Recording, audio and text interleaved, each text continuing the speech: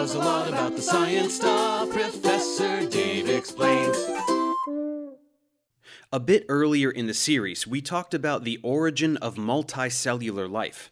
We discussed choanoflagellates and sponges, noting that these represent the emergence of animal life around 600 million years ago. Since organisms resembling modern sponges are likely the ancestors of all the animals on Earth, it is with such organisms that we will begin our exploration of the animal kingdom. Sponges are members of phylum Porifera, the name porifera means pore bearer, which is very fitting for sponges since they're full of pores, or ostia. Tiny little holes cover their bodies, but this isn't the only unique aspect of sponges. Not only are sponges almost all asymmetrical, with just a few exhibiting radial symmetry, but their cells do not organize into tissues or organs. They don't even have a mouth or anus, so there is no digestive tract. Instead, their unique body shapes are adapted to allow for maximal efficiency of water flow through their central cavity, where the water deposits nutrients and then leaves through a hole on their top end called the osculum, meaning little mouth. Some species might have several oscula, though most have just one. The bodies of sponges are made of two thin layers of cells with a jelly like mesohyl sandwiched between them, which is primarily composed of collagen. The outer layer of a sponge is covered in a single layer of external skin, composed of flat plate like cells called pinacocytes. Pinacocytes at the base of the animal also anchor it to its substrate, the thing it is stuck to, while those that form its skin can serve not only to protect it, but also to digest organic material. However, the cells most responsible for feeding are choanocytes. These are cylindrical cells with a single flagellum. It is the whip like motion of these flagella that are responsible for creating a current to drive water through a sponge's body. So, an important thing to understand is that sponges don't suck in water. Instead, their insides are lined with tiny flagella bearing choanocytes that literally create a current around them. This current isn't strong enough to bring in large animals, but tiny living creatures and organic material are easily swept into it. So the flagella whip back and forth, causing a current around the sponge. The water around the sponge is drawn into its pores, which are lined and controlled by porocytes that create closable valves. In addition, there are other cells found within the mesohyl, like the sclerocytes, or spongocytes in the demosponges, which excrete spicules, the structural element of sponges that also deter predators. Many sponges can shed their spicules, forming a dense carpet of spines around them.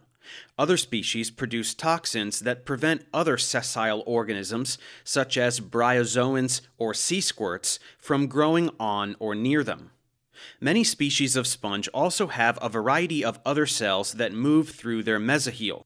They have oocytes and spermatocytes, which are the reproductive cells, gray cells, which act like immune cells in other animals, amoebocytes, which are amoeba like totipotent cells that can transform into any other type of cell, and others like myocytes, which conduct signals and allow parts of the animal to contract, as well as several types of collagen producing cells.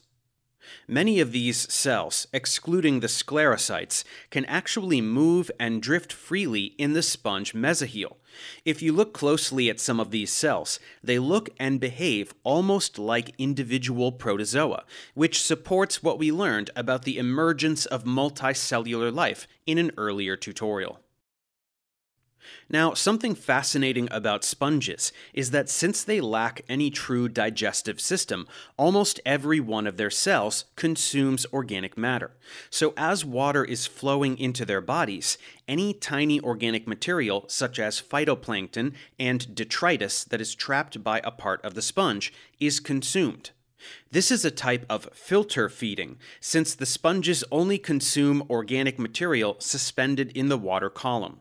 However, there are sponges, like the ping pong tree sponge, that are carnivorous.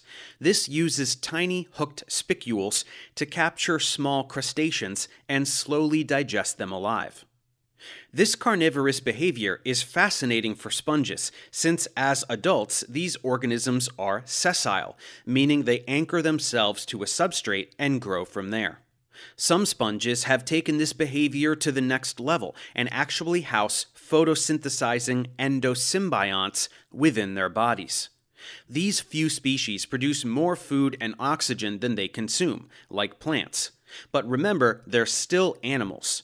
Their bodies capture the endosymbionts, they can't grow them on their own. Also, they, like all species of sponge, are mobile as larvae. Speaking of larvae or baby sponges, let's talk about sponge reproduction. The most common form of reproduction in sponges is sexual. They release sperm cells into the water. In some species, ova, or eggs, are also released into the water, while in others they are held within the bodies of the sponge, hoping to be fertilized by a sperm cell from a different organism belonging to the same species. It's important to note that while most sponges are hermaphrodites, that is, they are male and female at the same time, they don't have gonads, or reproductive organs. Sperm and eggs are instead produced by individual cells. Once an egg cell is fertilized, it develops into a zygote and then into one of four types of larvae. All of them are basically tiny cell balls with flagella that line their epidermis. These larvae will then swim for a few days. Fascinatingly, many of these larval sponges possess pigment ring eyes that are sensitive to light and can mediate their locomotion. Eventually, though, they will sink in the water column and then crawl until they find a place to settle. From there, they will slowly grow into adults. Many sponge species can also asexually reproduce using one of three different methods, those being budding, fragmentation, and gemmules. Contrary to popular belief, only a few species of sponges can reproduce asexually by budding, where a new sponge develops from an outgrowth or bud on the parent sponge, which then drops off. Fragmentation, however, is a bit more common. All known living sponges can remold their bodies.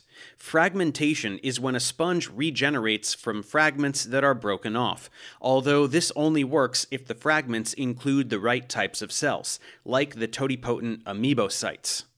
It's true that some sponges can completely regenerate from a single cell, but it must be the right cell. Not all sponge cells, and not all sponge species, can do this.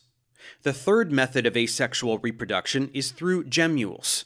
When environmental conditions become less hospitable to the sponges, like if temperatures drop, many freshwater species and a few marine ones produce gemmules, which are like tiny survival pods of unspecialized cells that can remain dormant until conditions improve. Then they either form completely new sponges or recolonize the skeletons of their dead parents. To finish up, let's go over the most common body structures, also known as aquiferous systems of sponges, and their extant taxonomic classes. There are three main sponge structures. First, the simple tube or vase shape lined with choanocytes, known as asconoid. Second, the syconoid, or pleated body wall, that has inner pockets lined with choanocytes, which connect to the outer pockets. And third, the complex leuconoid pattern with mesohyl that contains a network of chambers lined with choanocytes, connected to each other and to the water intakes and outlet by tubes. This third body type is actually the most common. Less common body structures are the sylleibid, which is often considered to be a transitional structure between syconoid and leuconoid conditions, and the solenoid, which is characterized by complex tubes lined with choanocytes. We should point out that the tiny black things lining the inside of the sponge are choanocytes. In terms of taxonomy, the four extant classes of sponges are Demospongia, Calcarea, Hexactinellida, and Homoscleromorpha. The Demospongii are the most common and diverse class by far, with over 8,800 identified species, making up 76% of all sponge species. They are soft bodied leuconoid sponges with a hard, sometimes massive skeleton made of spicules composed of silica. Some species of Demospongia can live for hundreds or even thousands of years and grow to enormous sizes. The calcarea, or calcareous sponges, include species from all of the three main body structures, including the solenoid. They have spicule skeletons made of calcium carbonate and are typically small and drab in color. They include about 400 species. The hexactinellid sponges are all leuconoids that are found in the deep sea and commonly called glass sponges. They are unique among the sponges because they can rapidly conduct electrical impulses across their bodies. This makes it possible for them to respond quickly to external stimuli. Lastly, the homoscleromorpha are either massive or encrusting leuconoid or sylleibid sponges with very little variation in spicule form. They have recently been considered to be phylogenetically distinct from the Demospongii. And that's it for sponges. As much as we discussed, there is a considerable amount of information that we didn't cover, but as the purpose of this series is an introduction to all the major phyla of kingdom Animalia, let's move forward and investigate the Cnidarians next. Thanks for watching. Subscribe to my channel for more tutorials. Support me on Patreon so I can keep making content. And as always, feel free to email me, ProfessorDaveExplains at gmail.com.